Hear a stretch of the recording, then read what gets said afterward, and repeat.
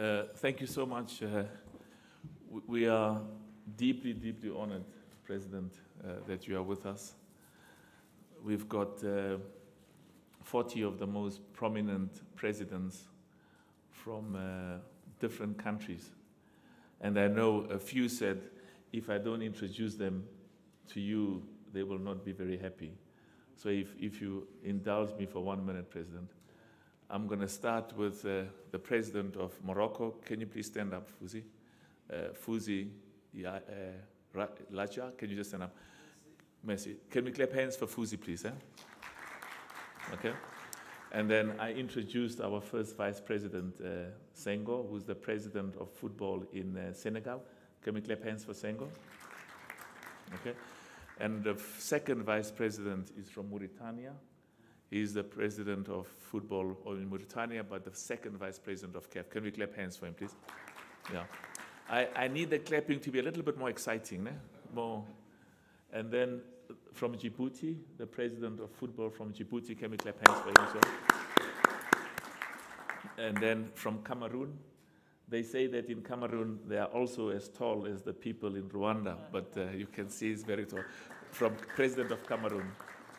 And then there's the president of Seychelles, she's our fifth vice president. What did I say? What country did I say? Comoros. I said Seychelles. Seychelles, they promised me a holiday home, Comoros. Thank you. And then next to her, President, and she's the first female inspired by the good work you do here to lead, not just in Africa, in the world, in terms of female participation. She's the first vice president of CAF. Next to her is uh, uh, Amaju Pinnick, the president of football from uh, Nigeria. Can we clap hands for Amaju? he said that if he wasn't a citizen of Nigeria, he would like to be a citizen of Rwanda. I don't know how. Yeah. Next to him is our brother from Uganda, the president of Uganda. Can we clap hands for him? Next to him is our president from uh, Libya, president from Libya. Can we clap hands for Libya? Wonderful. And next, the president of Benin, beautiful country. They'll be hosting the Confederations Cup, president of Benin. And the next one is from Liberia. They were hosting us in Liberia with George Weah. And uh, Sudan, eh? Sudan, Somalia. yeah. Uh, president of Somalia, uh, can, can, we clap hands for him? Our leader from uh, d'Ivoire, he was the uh, former president and my personal advisor, Jacques Anouma. Who's next to him? Yeah? Who's next to him? Is it local? Or uh, is it the management? Or is it local? I want to introduce your ministry to you. If I go, one of our excellent ladies who is uh, president from Sierra Leone and vice president, uh, it helps on the women's as well. Uh, wonderful. Aisha, our brother from Burkina Faso, president, former president, but also part of the EXCO. He's a general. You know, generals are special. A colonel. He's a colonel. So I feel very comfortable when I've got the colonels next to me. And our brother, uh, our brother from Gabon, from Gabon, yeah, Pierre, Pierre, Pierre Alain Gabon, he's always wanted to be a general, but uh, you know he's got to become a, a colonel as well. And then next to him, the president from Botswana. Can we clap hands for him? And then the president from, uh, now he's a colonel as well, eh? Yeah, we've got, you know, we feel safe from Niger. Yeah, they, you know, one of our most outstanding leaders, colonel from Niger, leader of football. And then the other one is from Seychelles, president from Seychelles. Can we clap hands for him? The one next to him, I don't know where he's from, but uh, he's from Rwanda. Sorry, he's from South Africa. Sorry, can you stand up? The president from South Africa. Wonderful. He's from South Africa, but as I said, he says he would like he, would, he wouldn't mind to get citizenship in Rwanda. And who's next to him? Sorry? Ah, ah, ah, ah, ah. Oh, President. He is, because it is an open session, we ask the presidents of the zones as well. He's our leader in Tanzania. He's the big, excellent work, good work, president from Tanzania. Can we clap hands for him, please? And, and that one is the president of COSAFA. The other one is the president of the region CECAFA, where Tanzania is. The other one is the president from, uh, no, from, uh, from, you see, he's taking a photo. He, from, from, uh, he's from COSAFA, but from Zimbabwe. Can we clap hands, please? Yeah, thank you. He, he says he's going to show the president of uh, Zimbabwe that I was with your brother today. and then, uh, oh, bonjour, mon frère, president uh, of WAFU,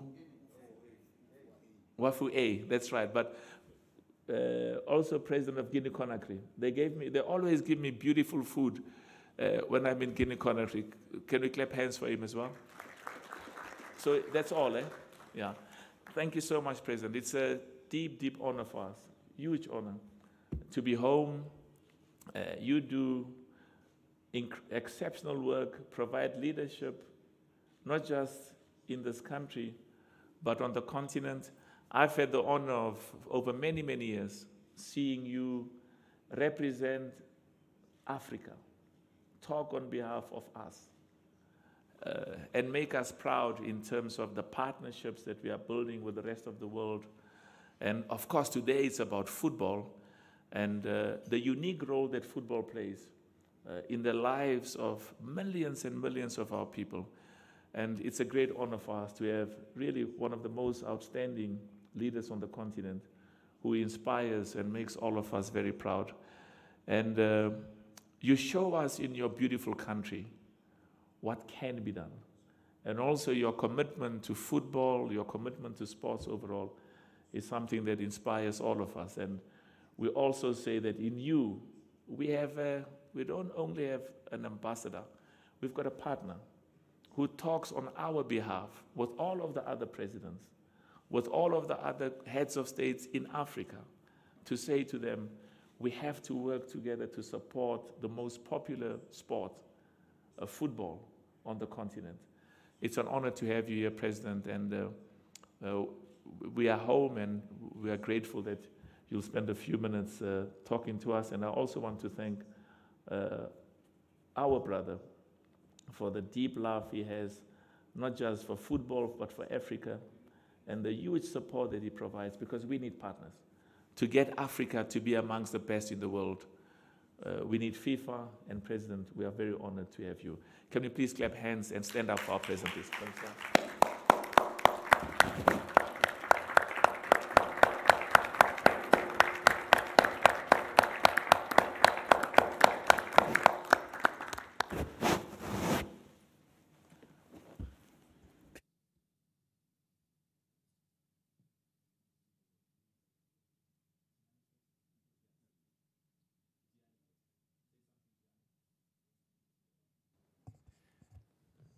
Okay, very good. So you, you still have to wait a few more minutes before uh, you can hear President uh, Paul Kagame. Let me, let me say how uh, happy I am, uh, President, to be here in Kigali, to be back in Rwanda, to be back home. This country uh, is uh, not only a beautiful country, but it is incredible, particularly close because it, in this country, uh, a lot has happened during my first campaign to become FIFA president. The CHAN was uh, being played here in, uh, in Kigali, in, in, Rwanda. I attended the opening, I attended the final, um, in which the, the RDC won uh, the trophy under a rain uh, storm. Um, and of course, I attended many, many, many meetings with um, many, many people uh, who, some of which voted then for me, some of which voted for somebody else.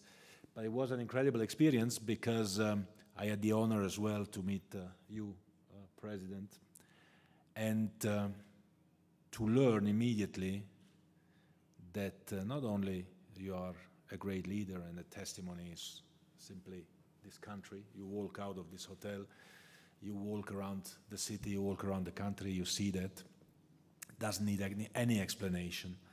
But I met already a person who is a true football fan. And as a true football fan and a true football person, uh, President, you live the values of our sport. And we are saying it, of course, but maybe we are not always objective when we say this. Football is more than just a sport. Football is a school for life. Football is teaching us so many things. Football is teaching us uh, to be part of a team, for example. It's teaching us that alone we cannot achieve anything. Football is teaching us respect, respect for the rules, respect for our opponents, respect for a referee who has to apply the rules. Football is teaching us to win, but it's teaching us also to lose. And uh, more importantly, it's teaching us that after you lose a game, there is a next game coming up very soon, and you want to go and win that next game. So it's teaching us resilience and to stand up to new challenges, to new games uh, for football. And um, your personal uh, history, President, the history of this country, the way in which this country has become uh, an example not only for uh, East Africa, not only for Africa, but for the entire, entire world, shows us really that everything is possible. Everything is possible. We just need to want it, and then we need to do it. And this is what uh, you, President Kagame, have been doing here and are doing in Africa. This is what we try, and I said this to our sisters and brothers and colleagues and friends here earlier this morning. This is what we all together want to do and try to do for Africa and African football. To rewrite glorious pages of African football, not only for Africa, but for the world.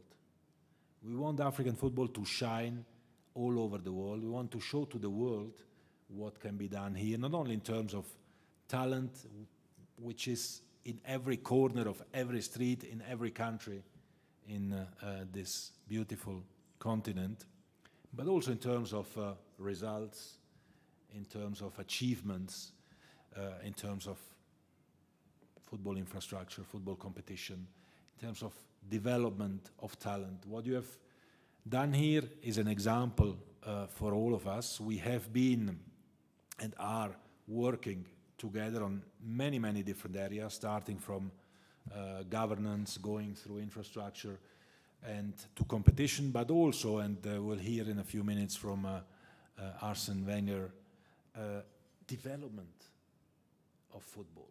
Because we need to give every talent a chance.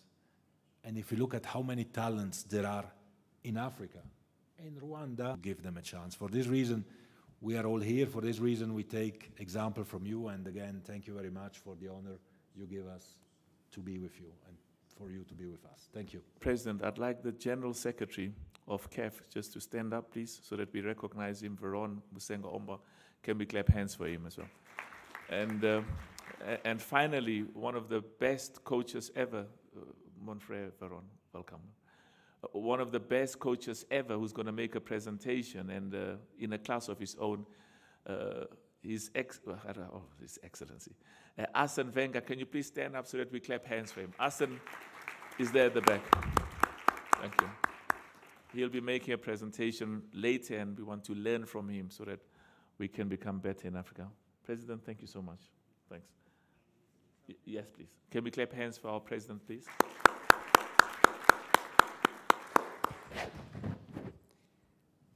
Well, um, good morning to you all. Um,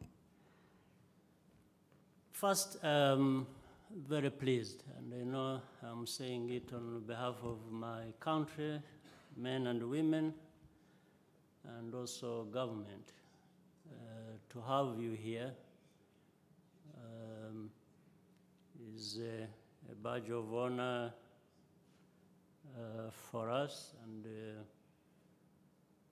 not only the footballing uh, aspect, uh, but also in many other ways. Uh, so I wanted to start on note of welcoming you. And I do that starting with the, the friends and brothers who are here, uh, all of you, uh, starting with the, uh, my brother, friend, uh, Gianni, uh, the president of uh, FIFA, and also my younger brother and friend, Patrice, the president of CAF, and a singular honor to recognize each one of you here today in your capacities uh, also, and thank you for being available uh, for this event you organized uh, um, to take place here in our country. The two brothers I'm sitting with here uh, at the high table, on this end of it, I have known for a long time, not only just known, but also shared many things, and uh, our minds are more or less synchronized on uh, what to do for sport, for football, famous today for that, but also how that translates into tangible uh, things to improve lives, and particularly uh, for our continent, the continent of Africa. Uh, they have so much uh, in them to give, and I have love for Africa as well. Uh, I have enjoyed working with them, I have enjoyed knowing them, and uh, as I said, uh, are, we are a family. It's, it's not just a friendship. And so, do we uh, feel we extend that to you or get that from you, uh, those who have honored us to be here for this? Now, I, I do politics for, for a living, if I may start with that. But I also make sure that I have to do or get involved with good politics. It's not just politics, it has to be good politics. And because of that background, I find almost in everything politics, or there is a convergence between politics and everything else. And that is not by accident, it's because there are similarities irrespective of whatever sector you're looking at. If you look at sports, sports teams, clubs, whatever, from football to any other sport, builds on a number of things.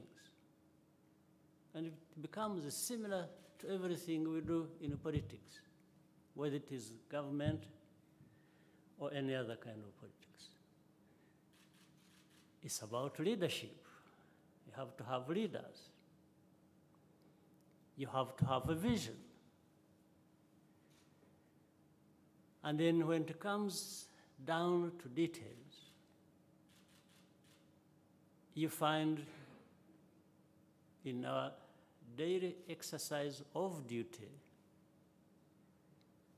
we want to work as a team. whether it is football or any other sport or government and so on. In the same exercise of duty, we want to be also humble about it. That's what will give us maximum results. There is humility in what we do so that we maximize the benefits and outcomes of whatever we do. We find competition. We have to be competitive in whatever we do. This is all for maximizing on the outcomes of what we do. We have to work together, not only as teams that are involved in doing whatever specific task, but we also think about others beyond our specific teams. These are even the funds. If you have a government, like uh, I lead one, you see all that through it. It's a government, it's a team, but a team serving what purpose? It's for the citizens of our country. Apart from a vision, therefore, you also have to have an ambition. You have to have a drive. You want to achieve. And in this achieving, there is nobody excluded, including yourself. Maybe start with yourself. Achieving gives you a level of satisfaction. But do you want to achieve alone? Do you want to be satisfied alone?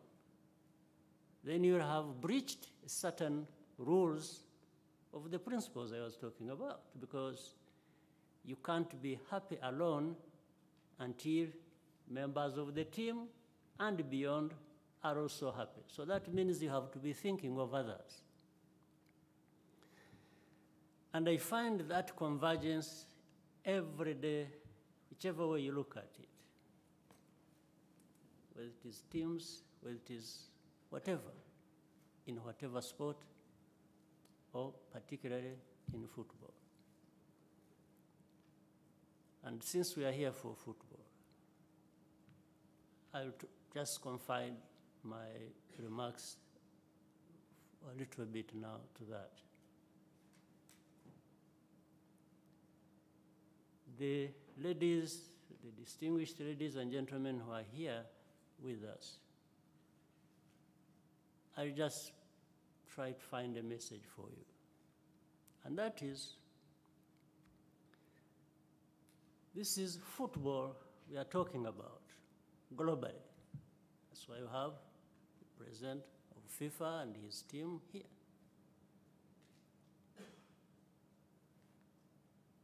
But there is Africa as well, and this is what you, all of you represent.